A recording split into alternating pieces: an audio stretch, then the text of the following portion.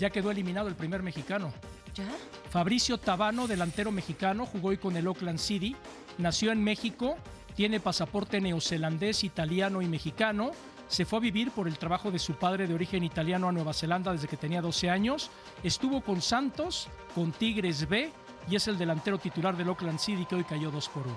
Esperemos que esa racha no se mantenga de que estén cayendo los mexicanos en Ah, este claro, torneo. pero ya uno estuvo ahí. Sí, ya uno estuvo ahí. Más adelante le vamos a estar detallando cómo quedó ese, ese partido ante el Kashima, el conjunto japonés, el conjunto local.